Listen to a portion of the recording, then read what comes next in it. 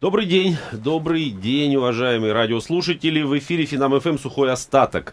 Меня зовут Олег Дмитриев. Сегодня четверг, и поэтому э, ввели мы тут новую традицию, как мне показалось, и будем традиционно по четвергам говорить на темы, интересные всем и несколько далекие от финансовых рынков, потому что, как обычно, ежедневно мы обсуждаем именно то, что там происходит. Хотя, собственно, можно было бы, конечно, сегодня и об этом поговорить. Да, повод есть. День взятия Бастилии впустую прошел, как, говорил известный персонаж. Вчерашние да, про, публикация протоколов принесла там кое-какое движение. Ну да ладно, завтра мы это обсудим, ничего страшного, никуда не уйдет. Сегодня не менее интересная тема, и более того, наверняка будоражащую мы а, гораздо большего активного населения Российской Федерации. Мы сегодня будем говорить на тему коллекторского бизнеса. Так, постарались романтично мы обозвать э, сегодняшний эфир. Коллектор – друг или враг должника. Вот так. Об этом мы сегодня и порассуждаем. Прежде всего, я представляю сегодняшнего гостя в студии э, сухого остатка Андрей Влас, финансовый омбудсмен Ассоциации антиколлекторов России. Я подчеркиваю, антиколлекторов. Добрый день, Андрей. Да, добрый день. А, визави, к сожалению, э, Андрея Визави, потому что, естественно, должен быть, э, ну, по задумке, да, да это да, было да. бы логично, и представитель непосредственно коллекторского бизнеса. Вот. Но буквально там за час поступил от него звонок, он, в общем, не смог доехать. Видно, очень много работы. Ну, скажу сразу, что зачастую со мной мало кто хочет встречаться. А, что... то есть это могла быть именно эта причина, да? Да, потому что я обычно как бы долго не разговариваю. Тут ясно и понятно, коллекторы это бандиты. Надо сразу определиться, кто это. Здорово, здорово. Так, хорошо, ты долго не разговариваю, я испугался даже, сразу в лоб, да, как обычно, долго не разговариваю. Так, во-первых, э, сейчас мы начнем беседу. Во-первых, я еще раз э, хотел бы обратиться к слушателям. Вы можете присоединиться к нашей беседе, естественно. У вас есть для этого э, возможность, возможность номер один, позвонить по телефону, телефон прямого эфира 65 10 99 6, код Москвы 495, либо написать нам на сайте finam.fm, задать свои вопросы, ну, в данном случае Андрею, вот, либо поделиться собственными мыслями по этому поводу. Кстати, все-таки интриги я не буду держать. Через полчаса мы договорились э, с одним из представителей коллекторского все-таки бизнеса, да, Дмитрием Жданухиным. Он присоединится к нам по телефону. Да. Вот. Ну, до этого у нас есть полчаса, мы можем, собственно, с Андреем... Это, это специалист, свою... да, Жданухин это специалист по угрозам, поэтому сразу имейте в виду. Когда вам звонят и говорят, когда дадите деньги, как раз Жданухин научил коллекторов, как звонить и как говорить, uh-huh. чтобы знали, какие вопросы. Особенно граждане, те, которым на сегодняшний день, сейчас, в данный момент, звонят из какого-то коллекторского агентства или из банка, они зачастую и банком представляются, и говорят, когда дадите денег, мы вот вам хотим предложить сегодня льготные условия uh-huh, погашения. Реструктуризацию. Да, реструктуризацию. Всяческим обманным путем пытаются завладеть вашими денежными средствами, да, не предъявляя никаких документов, доверенностей, э, ну и, и прочих э, юридических документов, угу. обосновывающих их положение, их права и так далее. Поэтому, если вы хотите знать, как решить данную эту проблему юридически законным способом угу. на сегодняшний день, как избавиться от кредита, от долга, от ростовщика, от кредитной организации, от коллекторов, тоже звоните, пожалуйста, я вам расскажу всю технологию на протяжении многих лет, как мы защищаем, как мы избавляем Уже отработано, от... да? Да, да, да, судебное решение этой проблемы существует. Здорово, здорово, Андрей. И тем не менее, давайте мы э, попробуем структуризировать да. несколько, да, наш эфир. Во-первых, начнем с того, что, ну, такое вступление вполне логичное, да, что это проблема, а это проблема все-таки, проблема невозврата долга, да. да. Наверное, сейчас а, ну, может быть, не наиболее актуально для большинства россиян, но тем не менее принимает такой, я бы сказал, а, ключевое значение, потому что говорим мы о том, что да, большая э, закредитованность в рамках потребительских кредитов, да, у банков растет э, просрочка, растут плохие долги в портфеле и так далее и тому подобное. Вот уже пошли звонки, я так думаю, что будет интересно сегодня ваше выступление. А, то есть мы говорим о том, что, э, видимо, э, коллекторы, да, вот как бизнес или как э, вот это самое не, не совсем организованные группы, вот, вот, не совсем легитимная, да, возможность вернуть долги, они сейчас наиболее активны становятся. Они используют технологию внесудебного выбивания долгов, то есть без суда и следствия, вне суда, вне правового поля, решают вопросы в так называемых называемым досудебным, но им подходит слово внесудебным, угу. потому что они... А это разные вещи, досудебные, внесудебные? Ну, досудебное это когда вам направляют письменную претензию, прикладывают доверенность, основания, расчеты, угу. Э, все кредитные документы, все, угу. все, что доказывает, что вы должны. Ждут 10 дней, если вы не отвечаете, они подают в суд. Так раньше работал Сбербанк. Угу. Но это было раньше. Теперь все тот, начали... тот самый советский Сбербанк. Да, да, да, да. Они очень быстро, три месяца ждали, вы не платили, подавали в суд. И это было правильное решение, правовое, угу. грамотное решение. И эффективное было. А дальше по исполнительному листу государственный судебный пристав взыскивали данный долг. Угу. У них есть все права для этого, в том числе есть и уголовная ответственность, если вы избегаете, уклоняетесь от угу. погашения, э, от исполнения решения суда. суда. Да. Поэтому они имеют право и арестовывать, и задерживать, и так далее. У них э, масса инструментов для взыскания долгов. Угу. Но это все законные инструменты. А, в нашей жизни все-таки вклин, вклинились третьи лица, угу. залезли в эту нишу, раздвинули правоохранительные органы, приставу, обвинили всех, что они не работают, а мы, типа коллекторы, начинаем спасать экономику России. Ага. Причем здесь Россия, экономика. Не и... работают, в смысле, вот эти самые правоохранительные органы не да, работают. Да, да, сами да, банки, да. у них же тоже есть да, там какие-то. Банки виноваты, да, угу. службе безопасности, угу. это их типа непрофильное занятие, да, да. а мы, а у нас это профильно. Угу. Вот мы такие пришли, красавцы, мы пришли откуда-то из Америки, там у них сказки такие есть, типичные там э, коллекторы от, от слова, э, ну, возвращать, да, да, да, да. английского и так далее. Они приду, придумали себе аббревиатуру, ну, в свою очередь нам тоже придумали аббревиатуру антиколлекторы, хотя на самом это деле... они придумали? Э, я не знаю, кто это придумал, но появился такой запрос в поисковой системе. Соответственно, мы и стали антиколлекторами. А изначально как планировался? Ну, изначально мы всегда были 25 лет подряд, мы были юридическое агентство э, по финансам. Да? То есть мы решали финансовые проблемы. Всегда можно решать проблемы.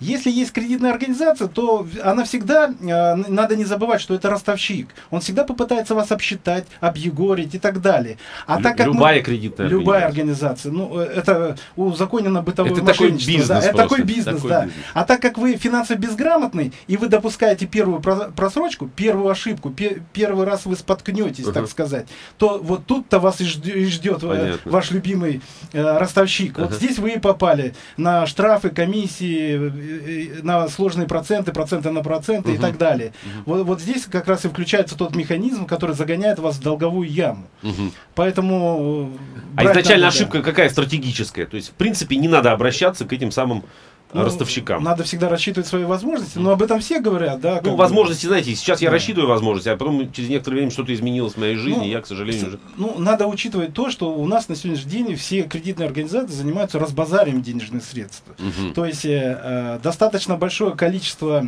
заемщиков имеют по 15-10 займов, да, кредитов и так далее. Более того, э, кредитные организации нарушают закон о рекламе, о СМИ и так далее. Они пишут просто деньги, просто зайди, просто возьми. И они они действительно их просто дают. Uh -huh. а, то есть они провоцируют вас, они нарушают инструкции Центробанка uh -huh. и так далее. Не, ну, те те да. организации, кстати, о, о которых сейчас говорите, они все-таки не попадают да, у нас под регулирование, регулирование Центральным банком. Это микрофинансовая организация. Микрофинансовая своя организация это уже новая ниша, так да, сказать. Да, да. Их более трех тысяч на сегодняшний день. Они побили все рекорды. И это была неплохая идея узаконить черных ростовщиков. Да? Uh Можно сказать. По сути, так. это и произошло. Ну, по сути, это и произошло. Они попали в ник некие списки и стали микрофинансовыми да, учреждениями. У них сейчас уже ассоциации, у них уже да. тоже какие-то есть там правила, ну, регулятор ну, какой-то. Совершенно верно. У них также уже появились собственные выездные бригады. Э, они увидели, что коллекторы тоже мало угрожают и неэффективно взыскивают, поэтому начали формировать собственные службы по выбиванию долгов и uh так далее. uh И тем страшнее то, что когда вы у них берете, вы берете под 5% в день, э, под там 1%. Сумасшед... Да. Конечно, там э, сумасшедшие. естественно, вам никто не будет прощать, потому что, ну, надо четко понимать, что это вредит вашему здоровью. Прежде чем вы возьмете деньги, ну, это то же самое, как наркотик. Uh-huh. Только uh-huh. еще страшнее на сегодняшний день уже становится. Uh-huh. Вы попадете в финансовую зависимость. Вы станете кредитным должником, это так же, как карточным э, должником. Вы проведите параллели и поймите, что это некая а, болезнь или некая, некий страх, который вас продолжает а, заставлять брать еще деньги. Uh-huh. Потому что вот... То есть откуда 10 кредитов, да, да у одного человека да. берется? Вот я и хотел вернул один, да, он вынужден где, да, надо как-то решать, да. значит, я беру, а, как грамотно написано, да. реструктуризирую свой да, долг, беру да, новый кредит да, для того, чтобы покрыть да. старый, и все, и вот она пирамида. Да. Все вот, нее... да, и надо четко понимать, когда банки предлагают вам э, реструктуризацию или рефинансирование, надо четко понимать, где перекредитование, а где, а где э, действительно рефинансирование. То есть новый кредит закрывают им старый кредит, угу. удлиняют новый кредит, э, угу. проценты повышают и так далее. Здесь надо четко понимать, э, когда вы взяли и не можете отдать, не надо идти к тому, у кого взяли, и спрашивать, как мне тебе не да, отдать. Да, как мне тебе... Спасибо огромное, Андрей. Сейчас прервемся, у нас новости, потом продолжим. Ну что ж, друзья мои, продолжаем эфир «Сухой остаток» на Финам ФМ. Меня зовут Олег Дмитриев. Сегодня в студии Андрей Влас, финансовый омбудсмен Ассоциации антиколлекторов России. Мы говорим на тему коллектор, друг он или, вдра... или враг должника. Вопрос э, в конце этой фразы я уже зачеркнул у меня, по крайней мере, формируется некое мнение по этому поводу. У нас есть звонок, да, давайте, чтобы не томить, сразу же поговорим с нашим слушателем. Дмитрий, добрый день, вы в эфире, пожалуйста, э, говорите. Да, здрасте, я хотел бы вопрос задать Олегу. Дмитрий, Олег, вы знаете, я уже второй день слушаю ваши программы, и нет никакого взгляда на рынок, как торгуются бумаги, что показывают индекс. Я понял, Олег, подождите, вы понимаете, у нас тысячи радиослушателей слушают вашу станцию, поэтому я хотел бы вас попросить в начале программы осуществлять взгляд на рынок. И когда вот вы что-то там обсуждаете со своими гостями, понимаете, час торгов, за час торгов может очень много измениться на рынке. Дмитрий, спасибо. И, и было бы еще лучше, если да. бы в конце программы вы говорите, что происходит с индексами, я как понял. торгуются бумаги. Спас... Дмитрий, спасибо. спасибо, спасибо огромное, спасибо. Ну, я, честно говоря, в начале программы извинился для, для да. тех, кто слушает ее именно исключительно для взгляда на рынок. Все-таки у нас сегодня такая традиционно внерыночная программа. А, Дмитрий, еще раз спасибо за звонок. Собственно, Андрей, давайте продолжим. Да. Продолжим. Кстати, вот это вот а фраза... Звонок вроде нет. А, давайте, да, Максим, Максим, Максим, Максим. Хорошо. Максим, э, день добрый, вы в эфире. Про индексы я не рассказываю сегодня сразу. А, я понял, день добрый. Я вот как раз-таки вопрос связан э, про коллекторов, хотел бы некий комментарий дать. Я считаю, вот лично мое мнение, и мне есть чем сравнивать, сейчас вам объясню, что у нас в России коллектор это враг. Так. Я вот э, по, у меня есть еще счет открыт в американском банке, и бывает, что там, допустим, по кредитной карте uh-huh. ну, возникают просрочки, там не успеваю заплатить, там или деньги не успели дойти, там, uh-huh. допустим, до банковского счета, и звонят, собственно говоря, на российский номер, и там коллектор, это, я бы даже так сказал, это психолог, uh-huh. который э, общается с вами настолько вежливо, который э, э, вникает в ситуацию настолько глубоко, uh-huh. И э, вот такого отношения со стороны российских коллекторских агентств, даже которые работают здесь по франшизе от международных, нету. Здесь, когда раздается телефонный звонок, а мне доводилось общаться с докторами, это хамло, uh-huh. это грубиян, это вполне, он, он то есть, да даже а, вопрос даже не в том, а, как общаются люди, а uh-huh. вопрос в том, как их руководство настраивает на общение с людьми. Ведь даже те письма, которые рассылают uh-huh. подписи печатни, они начинаются с, прежде всего с вопроса, а утверждение, что uh-huh. вы виновник, да, да, да. что, что, ты, пла- что ты плохой, да, да. да. Я получаю в Штатах письмо, при этом я получаю его на российский адрес. И первое, что там спрашивается, мы понимаем, что у вас в жизни могли возникнуть некие сложности, uh-huh. и мы просим вас разъяснить нам, что случилось uh-huh. у вас. Uh-huh. И только потом уже коллектор там с необходимостью начинает очень корректно вам объяснять, что uh-huh. чем грозит вам нарушение.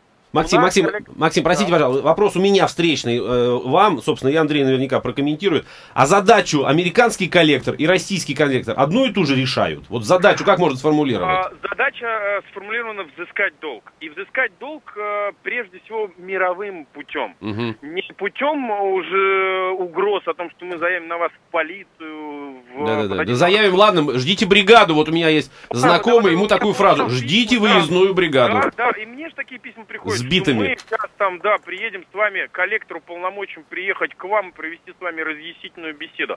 Понятное дело, что эта разъяснительная беседа, она, ну, сама тональность письма, она уже или звонка, она в достаточно грубой форме. Конечно. Поэтому я считаю, что у нас деятельность коллекторских агентств, а, должна быть обязательно лицензируема, угу. и, б, должны быть прописаны абсолютно четкие, понятные стандарты, кто может быть коллектором.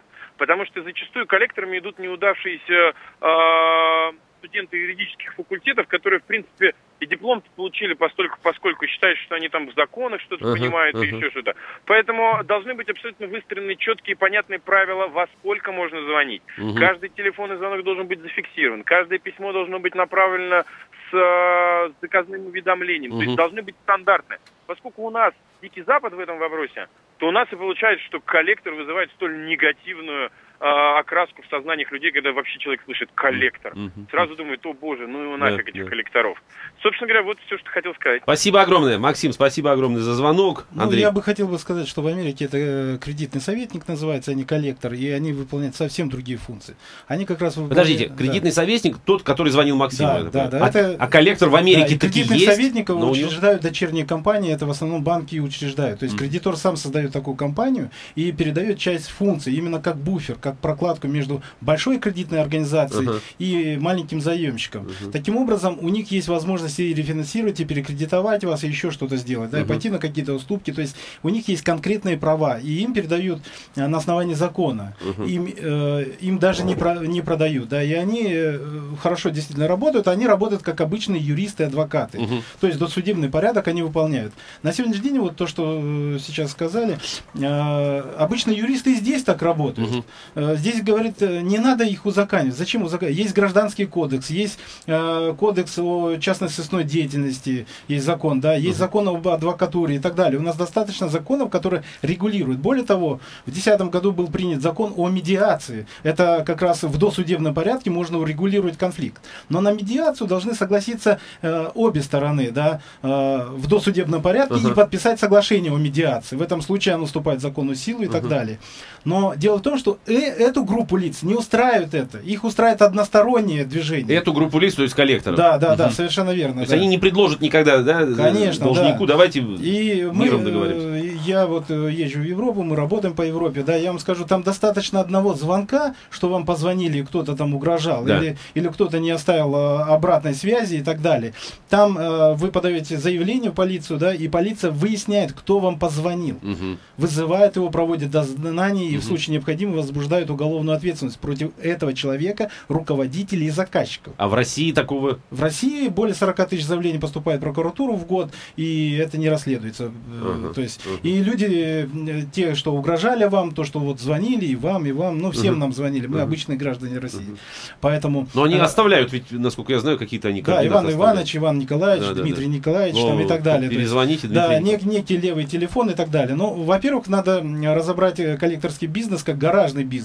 Они не платят зарплаты, они нанимают пенсионеров, э, студентов и так далее. Это Подождите, они не платят зарплаты. Какой зарплаты?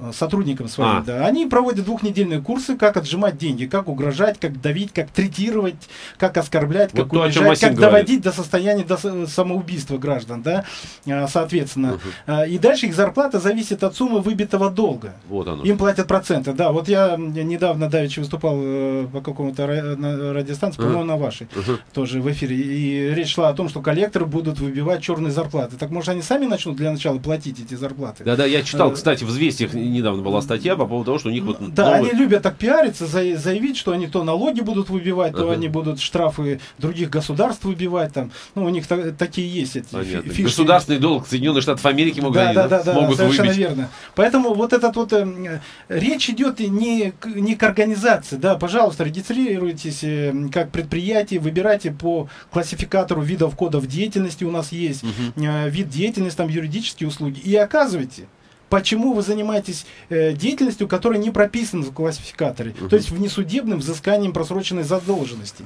А, покупать никто не покупает, да, э, делают фальшивые переуступки, делают... э, Покупать, к- в смысле, долги никто Да, не долги, покупает. да. У нас есть по кодексу, вы можете купить, пи- пи- но кредитная организация должна письменно вас об этом уведомить. Что Э, я... э, да, что ваш долг был продан, да, тому-то, и приложить поди- документы, подтверждающие копию Ага. платежного поручения, Ага. что человек купил, но без передачи банковской тайны о счетах и так далее, от друзьях, товарищей. Да. А не так, как сегодня происходит. Сегодня они берут и сливают электронную базу данных, включая все анкетные данные, где вы писали, это мой друг, это мой сосед. И Ну, начинают да. еще и их третировать. Да, да, да. Э, Работодатели и так далее. Э, Люди к нам обращаются и говорят, что делать? Меня э, работодатель от страха хочет меня уволить. Да. Я Да. говорю, а зачем ему звонят? Да, он говорит, я не знаю, но я теряю работу, и последний мой, мой доход будет тоже потерян. Мгм. После этого я не смогу вообще оплачивать кредит, ни в каком виде. Это очевидно. Да, поэтому они сами создают условия, при которых тот же должник эм, подается в бега. Они сами создают уголовную ответственность, в которой они, они в письмах Мгм, угрожают. мгм. Действительно, там у них письма начинаются сразу со 159 статьи. Сейчас вот, кстати, э, э, опять время нам послушать новостей, потом мы прервемся да, на новости, Да. и потом продолжим вот э, уго- уголовную составляющую, очень интересно. Замечательно. Итак, друзья, продолжаем эфир. Сухой остаток на Финам ФМ. Тема сегодняшнего эфира «Коллектор». Выясняем, друг он или враг должника. В студии Андрей Влас, а, финансовый омбудсмен Ассоциации антиколлекторов России. Через некоторое время я подключу к нашему разговору Дмитрия Жданухина, руководителя Центра развития коллекторства. Но начнем мы все же с того, что обсудим уголовную составляющую. Потому что, в принципе, да, когда мы говорим о э, кредитовании, о взаимоотношениях банк ли э, э, да, должник, либо вот Да. новая структура, все-таки это в рамки гражданского кодекса Ну, укладывается. совершенно верно. но, но есть ведь и, да, страшное дело. Можно Да. довести и до уголовщины. э, на сегодняшний день э, они попадают под чистую статью 163. Не хватает единственное, чтобы должник вышел в подъезд и реально сунул деньги за пазуху, и в это время за руку их поймали. Мгм. Вот этого они не делают. Как они указывают на своих сайтах, мы вас довезем до банка, мы довезем вас до почты отделения, вы сможете оплатить кредит и так далее. Мгм. То есть они к вам приезжают, но деньги они боятся в руки брать, чтобы не было точки в статье 163 Уголовного кодекса. А нет, прецедентов нет, мало ли, вот э, Э, Знаете, у меня чело- был- человек уже настолько, да, Я вам расскажу. накипело Вот у- него, он раз и подставил. Да, его. вот у меня был один э, клиент, так сказать, да, который пришел на консультацию с таким вопросом. А, мне кредитор и коллекторы предлагают много денег. Я говорю, за что? Он говорит, я хочу их взять, но боюсь. Он говорит, ну, был случай такой, я бывший кемеровский бандит, живу Ага, в Москве, ага. работы нет больше, ну, как бы законы изменились, Да, да. Э, сижу, делать нечего. Пошел, взял кредиты, чтобы жить на что-то.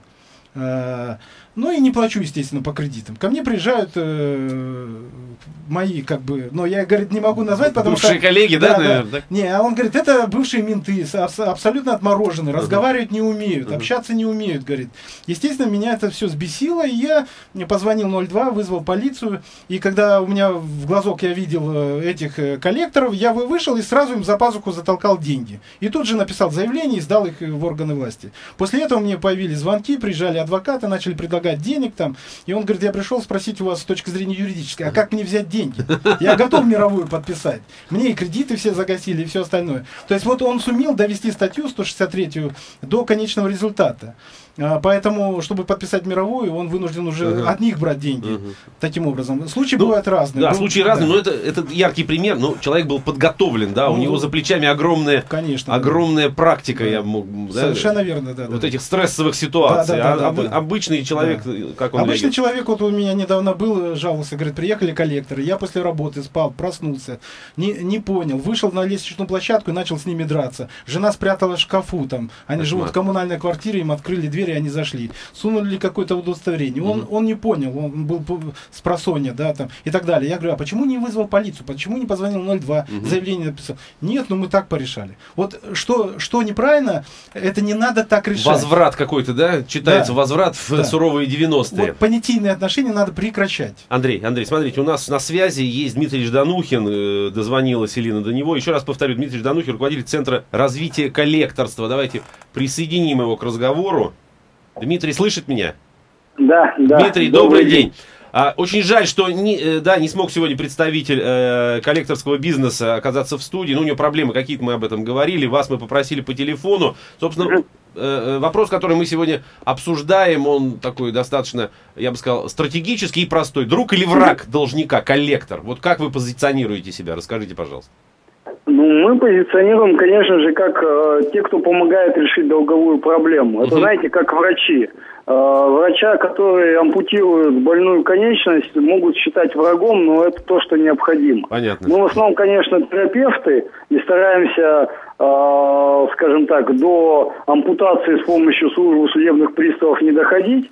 Но Ага. бывают разные случаи. Иногда приставы тоже нужны. А вы можете поделиться с нами, ну, если не секретами, то, по крайней мере, методологиями, да, техниками, которыми вы, э, ну, я не знаю, не заставляете, да, наверное, слово некорректное, которыми вы э, Помогаем. помогаете, да, должникам осознать вот эту ситуацию и, собственно, пойти правильным путем. Каковы эти технологии, Дмитрий?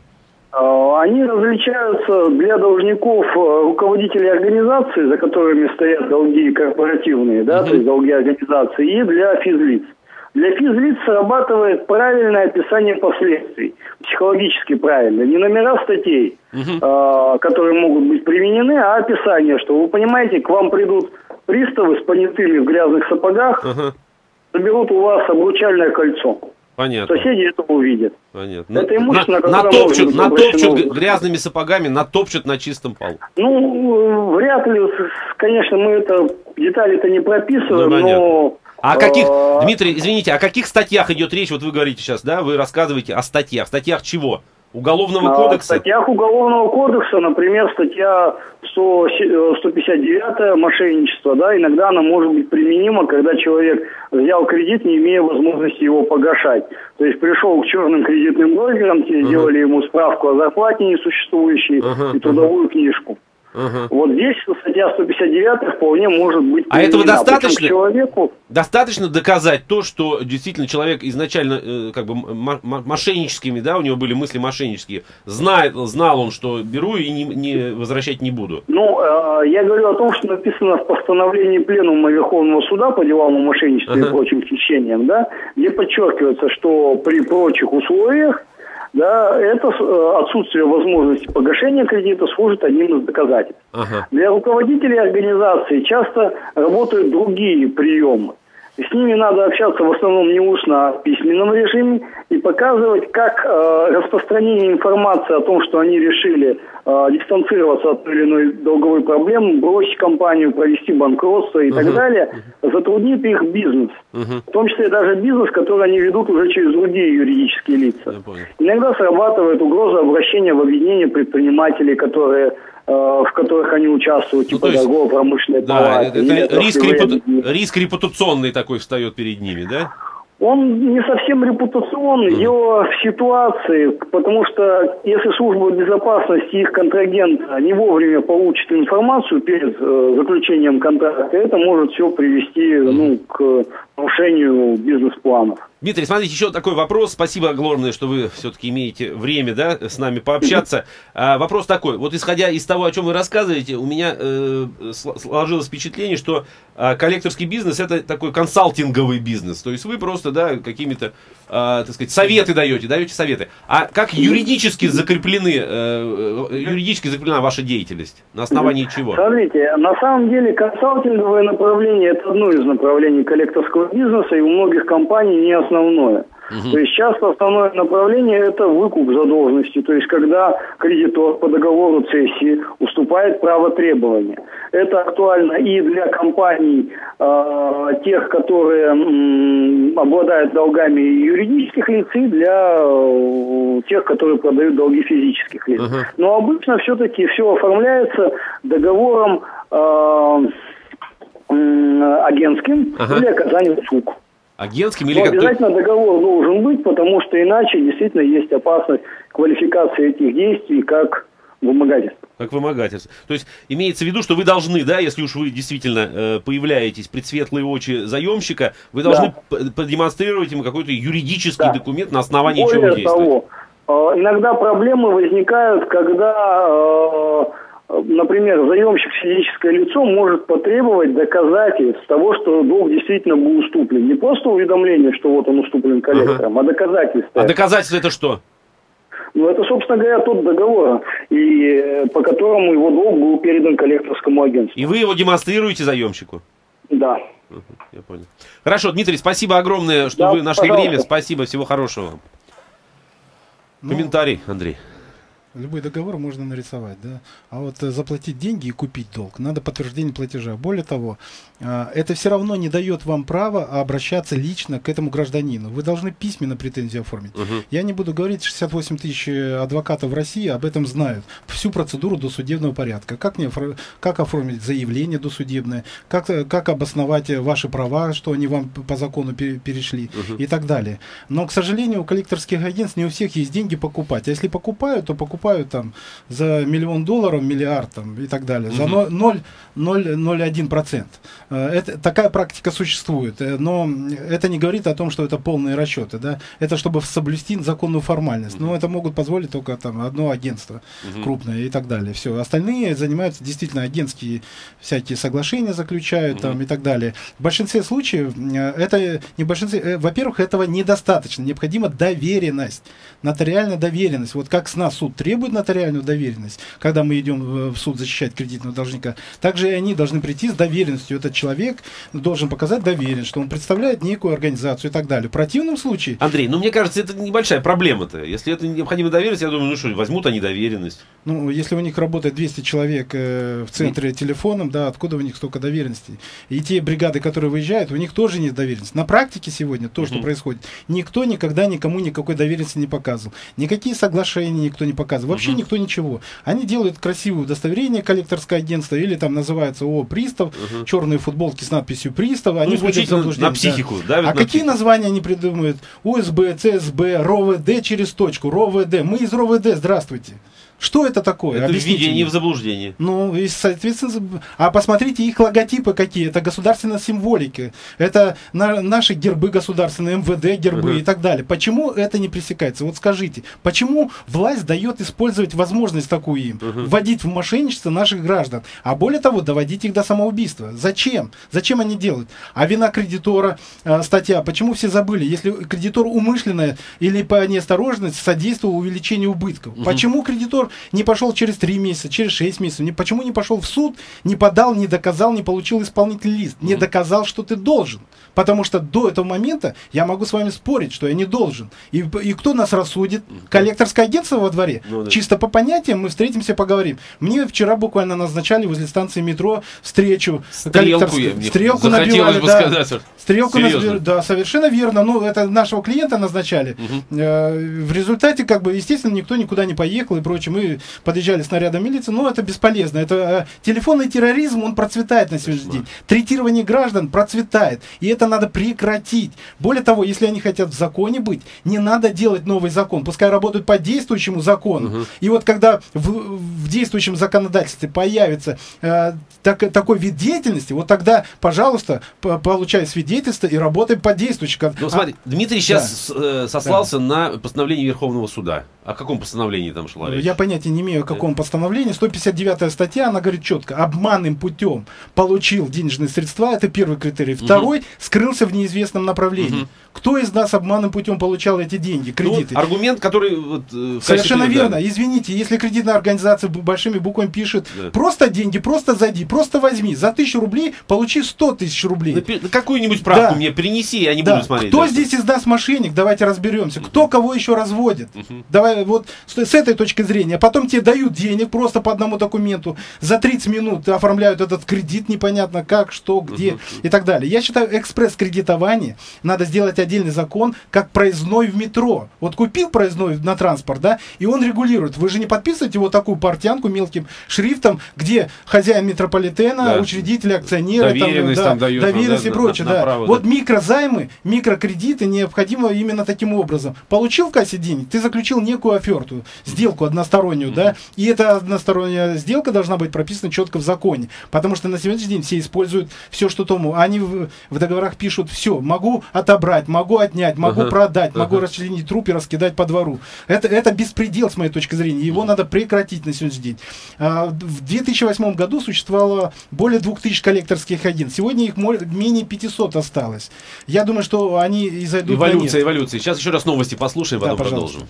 Итак, друзья мои, продолжим эфир. Сухой остаток на Финам ФМ. Тема сегодняшней программы коллектор, друг или враг должника. В студии Андрей Влас, финансовый омбудсмен Ассоциации антиколлекторов России. В прошлой части мы говорили по телефону с Дмитрием Жданухиным, руководителем Центра развития коллекторства. Телефон студии 65 10 99 6, код Москвы 495, сайт компании finam.fm. Уважаемые слушатели, присоединяйтесь, да, ну, осталось 12 минут. Радуйтесь возможности, воспользуйтесь возможностью, да, позвонить и задать вопросы Андрею. Э, некоторое время спустя я обязательно попрошу какие-то рекомендации, да. может быть, общие дать обязательно. Есть вопрос у нас на сайте, я его сейчас э, прочту. Итак, пишет Владимир, скажите, пожалуйста, является ли нарушением моих прав неоднократное предложение одного из банков, ну, большого банка, не суть важно, видимо, какого, получить у него кредит на льготных условиях, рассылаемый в виде смс-сообщений? И дальше Владимир, э, э, значит, комментирует сам этот вопрос. Я ведь могу не устоять и попасть в кредитную долговую яму. Кстати, очень часто, ну, многие банки этим грешили, я не знаю, сейчас, может быть, это немножко на спад пошло.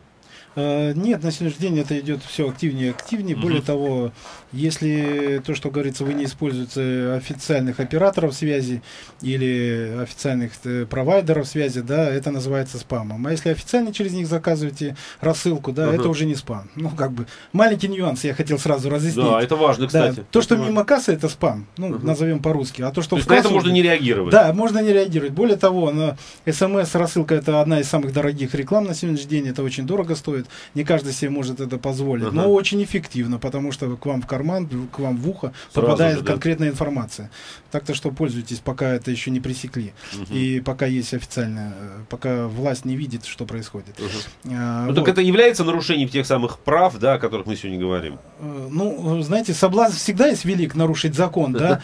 Точно так же и соблазн взять то, что плохо лежит, или то, что так легко вам дают, да. Проблема банка, проблема кредитной организации, которая хочет раздать эти деньги на сегодняшний день, или нужно раздать, или агрессивная политика на рынке, то есть завладеть определенной территорией, портфелем определенным и так далее. Им наплевать, что у вас 15 кредитов, и Мгм. вы с ними не рассчитываетесь. Мгм. Понимаете? А от того, что вы возьмете, все это, тем не менее, вы виноваты будете только вы, и только вы обязаны отдать этот долг, да. Ну, рано правильно. или И потом поздно. вам расскажут, да, еще, что вы, оказывается, Совершенно верно, и мошенническим да. Да, путем, да? И никто вам не писал, и никто вам не звонил. Да, да, да, да. Поэтому тут четко смотрите, что и у кого берете. Да, можно, сами знаете, и у дьявола что-то Взять, всю жизнь потом в аду мучиться. Это правда. Не дай бог, конечно. Да, ну, ответ на вопрос Владимира а, очевиден, видимо, да, надо взвесить, естественно, собственные какие-то силы. Совершенно да. верно. Вот я хотел Адекват. сказать, если вы сегодня уже взяли, таких сегодня несколько миллионов, десятков миллионов человек, которые не могут рассчитаться. А, Во-первых, э, вы пишите заявление не о том, что вы просите банк о каких-то льготных условиях, перекредитовать вас, еще что-то. А, Во-вторых, э, вы должны четко понимать, вы взяли у ростовщика деньги и приходите к ростовщику и говорите, а помоги мне еще раз тебя обмануть, чтобы, или помоги сделать так, чтобы я тебе не отдавал сегодня деньги, Ага. отдал потом. И больше. Вы разграничьте эти функции. Банк это все-таки обычная коммерческая организация. Поэтому вы, пожалуйста, идите к экономисту, финансисту, к юристу, кредитному юристу, кредитному адвокату, который вам поможет разобраться в данной проблеме. А, Или психологу, в конце концов, да, Мгм. решить эти проблемы. Но надо решать эти проблемы юридически. И когда вы пишете заявление, вы должны конкретно написать: я потерял работу, я больше платить не буду.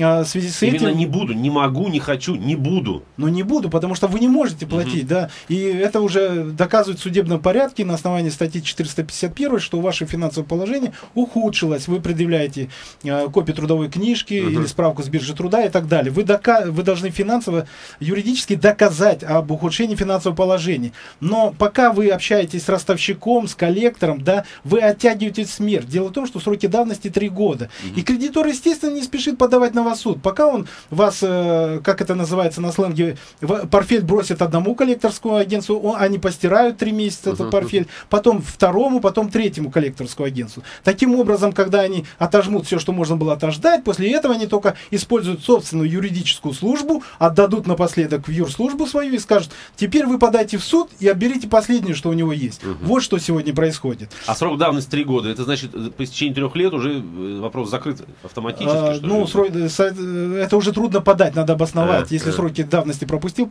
Но обычно через два с половиной года банки по- прода- подают в суд, Начинают да.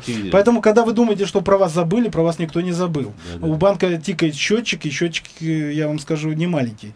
Поэтому поосторожней с ростовщиками. И, не бойтесь подавать э, в суд первыми в суд. Не ждите, когда банк подаст. На сегодняшний день... э, Основание какое? Если ты действительно взял кредит, и ты в какой-то момент перестал его платить, Э, вот какое у тебя основание подать на банк? Это простым языком основание. а Основание ухудшения финансового положения. Но говоря юридическим языком, любые договорные отношения это две стороны. Мгм. И одна из сторон может быть не, недовольна тем же самым товаром, да, а Мгм. товар, денежные средства тоже являются товаром как таковым на сегодняшний день. Я вообще говорил, что а, заемщик должен, иметь, должен иметь такое право, там, скажем, через месяц вернуть денежные средства как некачественный товар. Мгм. А, но оба- обосновать это тем самым, то, что он взял деньги, а в результате, ну, подписал одни документы, а в результате вылилось в другие штрафные санкции, Мгм. в другие комиссии, которые вдруг, вдруг откуда ни возьмись Неожиданно, появились, да, да. И плюс появился некие звонки, требования там и так далее, Мгм. Там. Все. Таким образом, товар это- некачественный. Вот это меня не устраивает, да, поэтому я Да. реш- решаю. Э, Да, кое-какие проекты законов есть в этой области, уже обсуждаются по потребительскому кредитованию, и там есть такие функции о возврате денежных средств, как, э, ну, не как качественный товар, потому что его сами банкиры придумают, этот закон, Мгм. соответственно. Э, И еще я хотел сказать, вот по поводу закона о банкротстве физических лиц, которые очень часто обсуждают, но до, до конца не говорят. И когда людям, э, когда гражданам говорят о том, что единственное жилье вас не заберут, я Мгм. хочу сказать, заберут. Что такое единственное жилье, надо четко понимать. Вам Мгм. дадут в поселке городского типа, где есть школа, детский сад и магазин. Мгм. Вот. А та да, квартира, которая у вас будет в Москве, единственным. И оно будет единственным. Или на Северном полюсе вам дадут, да, рядом с Мишкой. А, а в центре Москвы ваши апартаменты Мгм. или вашу однокомнатную квартиру Бирюлева заберут у вас, потому что она стоит 200 тысяч долларов. И это достаточно для погашения кредита и покупки э, ф- ф- э, жилья, да. Да, бывший мэр, э, мэр хотел создать э, такое жилье для, и переселять тех, кто не платит э, по кредитам, по коммунальным платежам и так Мгм, далее. мгм. Потому что, по большому счету, можно это реализовать все. Более того, в этот закон не попадают квартиры об ипотеке. Ипотечные квартиры не попадают. Мгм. Поэтому граждане могут не ждать этот закон. Да. А, помимо этого, этот закон лучше назвать не банкротство, а реструктуризация вашего долга. Все-таки. Все-таки, да, потому что э, первое, что будет, это по, по заявлению с разрешением кредитора вам Ага. дадут некую рассрочку под одну вторую ставку Центрального банка России. И только потом, возможно, ваше заявление примут э, арбитражный суд и начнет рассматривать. Но помимо этого, от того, что вы можете подать в суд, начиная от 50 тысяч рублей, э, вам придется нанять арбитражного управляющего, кредитного юриста, финансиста, экономиста. И во кого- что мне это выльется? да, и, ваше- вот и это? 6 месяцев вы должны это все оплачивать как минимум 6 месяцев. Соответственно, с вашим долгом э, 500 тысяч рублей или миллион, Ага. вы не сможете, вы не позволите стать банкротом. Это не простое заявление. Э, Я банкрот, э, простите Да, меня. Да. Все, кому должен, Да, да? поэтому э, решайте проблему сегодня и решайте ее только в судебном порядке. Более того, вот э, наша ассоциация оказывает бесплатные консультации. Вы обращайтесь. Мгм. Малоимущим гражданам мы вообще помогаем решать в судебном порядке, не берем за это денег. Мгм. Поэтому любые вопросы решаются. Главное, не замыкайтесь в себе, не доводите себя до состояния стрессового, а решайте эту проблему юридическим путем. И не спускайтесь в подъезд и на Да, да, да, я да. хотел добавить, не замыкайтесь Да. в себе, именно этим воспользуются, собственно, Конечно, те да, самые структуры, да. о которых мы говорим. Еще один звонок, успеем, у нас три минутки. Э, Очень Таня, интересно, хотела бы задать вопрос. Да. У меня заемщик, физическое лицо, должен 8 миллионов. Есть квартира двухкомнатная, один собственник. Дети не собственники, я никак не могу выбить деньги, заставить продать квартиру и вернуть мне деньги. Мгм. понятно, понятен вопрос. Ну, с точки зрения юридической, получите исполнительный лист по решению суда. Дальше в районное отделение э, пристава поезжайте, они возбуждают исполнительное производство в отношении этого должника. И если вы говорите, что у него ничего нет, это как раз работа приставов. Да, они сегодня очень плохо работают. Они работают во вторник до обеда прием граждан, в четверг после обеда. Это ужасная старая советская структура, на которую то- тоже к- функции которой хотят забрать все коллекторы, как говорится, ну лучше тогда принять закон о частных приставах, да, как э, во многих государствах и Мгм. есть.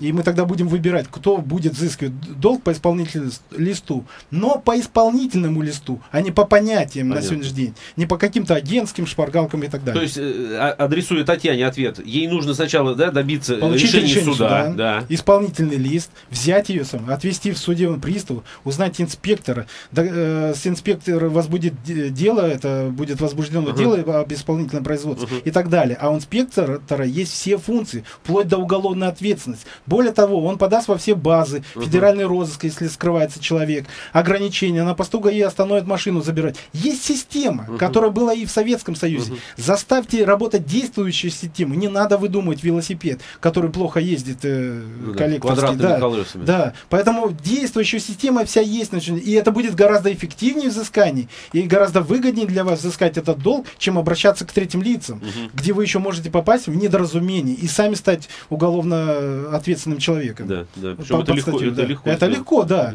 Вы, вы заказчик, поэтому вы должны нести в два раза больше ответственность. Я сегодня считаю, что и банкиров надо наказывать за такие заказы, которые Мгм. они оформляют. Да. Практически они нанимают киллеров, и киллеры доводят до самоубийства, или и Мгм. граждане начинают или вешаться, или Мгм. пить таблетки, запивать водкой и умирать, или прыгать на провода, или еще что-то. Случаев на сегодняшний день очень много, весь интернет переполнен, Мгм. все об этом знают, поэтому говорить об этом нечего. Банки рассылают открытки, где выстреливают всем мозги и так далее, и говорят, есть решение вопроса Страшное с дело. разными лозунгами. Страшное да. дело, страшное дело.